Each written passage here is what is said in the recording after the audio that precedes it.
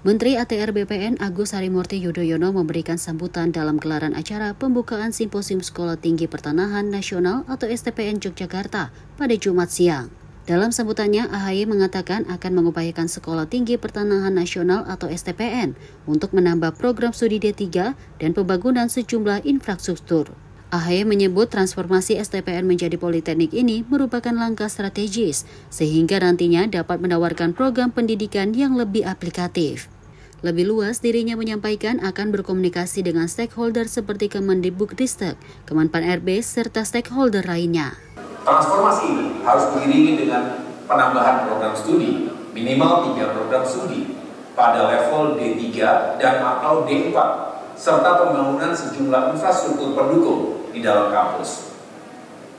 Transformasi STPN menjadi politeknik adalah langkah strategis yang tepat untuk menjawab kebutuhan tersebut.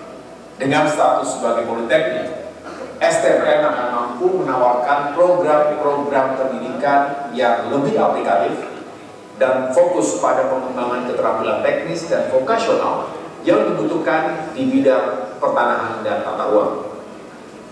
Transformasi ini tidak hanya sekedar perubahan nama atau status kelembagaan, tetapi juga mencerminkan komitmen STPN untuk terus beradaptasi dan berkembang dalam menghadapi dinamika dunia pendidikan dan industri.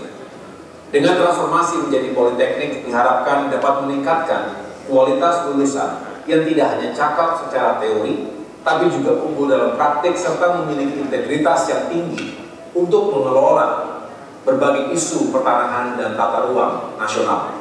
Untuk mendukung upaya tersebut, saya juga akan mencoba mengkomunikasikannya dengan sejumlah stakeholders terkait, termasuk Kemendikbudristek, Kementerian Keuangan, Kemenpan RB, serta BKN. Dari Yogyakarta, Farijal Sinpo TV melaporkan.